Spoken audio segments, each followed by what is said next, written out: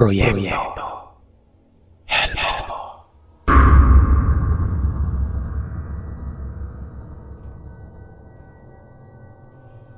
Pagkadating niya doon, yung half-sister ko sinalubong siya. Tatay na rin kasi ang tawag nun sa kanya. Sinabihan ito ni tatay na huwag munang yumakap sa kanya kasi kailangan niyang isa lang ang mga kamay niya sa apoy. Sinari naman ay inabot sa kanya ang lampara at doon niya isinalang ang mga kamay niya sa ilaw ng lampara ng tatlong beses. Pinainit niya rin ang palad niya sa pamamagitan ng apoy at hinilamos sa mukha niya ng tatlong beses nun. Kaya niya ginawa yun ay para hindi magaya ng aswang ang itsura at aura ni tatay. Pwede niya kasing gayahin ito para magamit sa panlinin lang at pangbibiktima. Lalo na't nalaman ni tatay na puntirya nito, itong kapatid ko. Pagkatapos noon, kinarganan niya ang kapatid ko na ito at yun ay sabay-sabay na silang kumain ng pansit na dala niya. Nung mag-aalas 12 na, yun na dapat ang oras na uuwi si tatay. Kaso biglang umiyak yung kapatid ko na yon. Nanuoy nagising sa pagkakatulog. Nung kinapa ni nanay ang ate ko, inaapoy na ito ng lagnat. Nagtaka si nanay kasi wala namang sakit si ate. Tapos kanina nga maayos pa ito. Sumisigaw si ate na ng, Tatay, tatay, may mumo, may mumo. At dahil kawain lamang ang saig at banig lang ang kanilang hinihigaan, naghinala si tatay na baka nasundan siya o pumunta yung nakabangayan niya kani-kanina lang sa may tulay nun. Kagad na ginising ni nanay doon si Lolo. Sila kasi ang asama ni nanay at ate sa bahay. Noong mga panahon na yon ay nakikiramdam na rin pala si Lolo sa paligid. May naririnig kasi itong huni ng baboy at doon ito nanggagaling sa silong. Si ate naman ayaw magpalapag sa higaan. Binigay ni tatay si ate kay nanay at kinarga. Doon na bumaba si tatay ng bahay. Itong si lolo naman nakaabang sa kusina.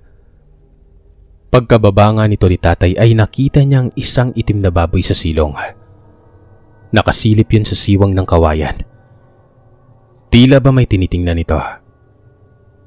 Hindi napansin ng baboy na naroroon si tatay dahil may karga ito at nagbibitaw ng mga dasal at orasyon.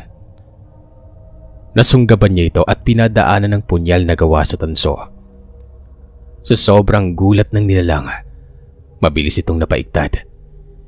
Kaya yung paa niya lamang ang natamaan ni tatay noon. Napakabilis nitong gumalaw at tuloy-tuloy na tumakbo doon sa may palayan na ilang metro ang layo mula doon sa bahay nila nanay. Hindi agad-agad umakit si tatay noon. Mga kalahating oras pa siya doon sa baba. Habang naroroon siya inagsiga ito.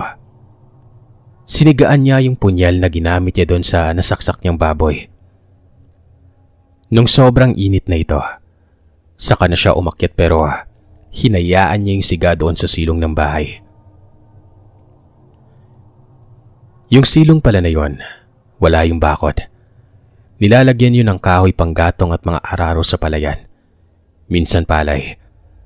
Dati kasi hindi mo kailangan ng bakod lalo na sa lugar namin na wala namang nangunguha o nagnanakaw.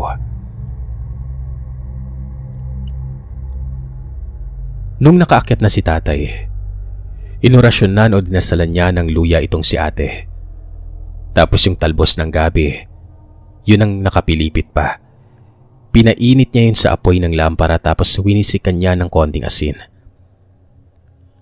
Sa bawat linya ng dahon nun, pinadaanan niya ng luya na may orasyon niya. Tapos ay nilagay niya yun sa tiyan ni ate at itinali doon.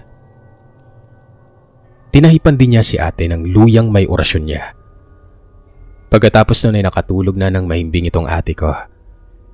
Hindi na rin umuwi sa kanila si tatay nung gabing yon. Doon siya nagpaumaga kila nanay.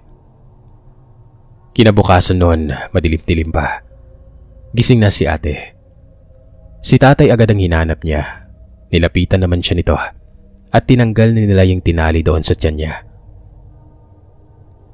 Parang napaka-imposible sir pero sabi ni tatay at nanay, yung dahon ng gabi, yung pinakapuno nun kung saan doon nakakabit yung tangkay ng dahon, nabubulok na. Samantalang yung dahon naman ay tuyong-tuyo na akala mo binilad sa araw ng ilang araw. Yung puno bulok na rin na parang pinabayaan ng ilang araw na nakababad sa tubig. Ganon na ganon umano ang itsura nun. Napamura si tatay nung nakita niya yon. Laking pasasalamat naman ni Lolo dito kay tatay. Baka kung wala ito ay hindi niya alam kung ano na ang nangyari sa apo niya. Sabi naman ito ni tatay kay Lolo, nasugatan niya umano yung nilalang na yon at dadaanan niya ito pagka uwi para malaman kung anong nangyari sa kanya. Dumaan nga si tatay doon sa bahay ng sinasabing aswang. Malayo pa lamang siya ay nakaabang na ang babae sa bakuran nila. Karga-karga ang sanggol na anak. Kinausap niya si tatay na pagpasensya na lamang daw ang asawa niya. Hindi na daw mauulit yon. Maging siya din ay natatakot para sa kaligtasan nila ng anak niya. At dahil kilala ni tatay ang babae ay sinabihan niya ito na pagpasensyahan niya kung may hindi magandang mangyayari sa asawa niya ng dahil na din sa mga pinaggagagawa nito. Ako kung sakali mang hindi si tatay ang magiging kapahamakan niya. Malamang sa malamang may ibang tao sa susunod na baka mapuruhan na ito.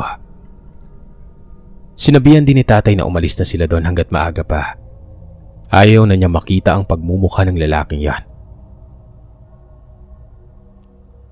Pagkatapos ng pangyaring yon, napag-alaman ni tatay na ang kapatid na babae pala ng lalaking aswang na yon ay nakapag-asawa din ng taga sa amin. At nandun pa mismo sa proper nakatira kung saan malapit ang bahay nila tatay. Natigil ang paghahangad ng aswang na ito sa ate ko. Yung ate ko kasi malaki ang nakuhang pisikal na wig sa side ng tatay niya. Maputi ang ate ko. Kulot ang buhok ng bata pa lamang siya. Yung tipong panggigigilan mo talaga. Napakabibo at napakadaldal kaya siguro natipuan ng aswang. Tuluyan ang nagsama sina tatay at nanay pagkatapos ng pangyaring yon. Matapos ang isang taon, nagpakasal sila kasi nagdadalang tao na si nanay sa akin.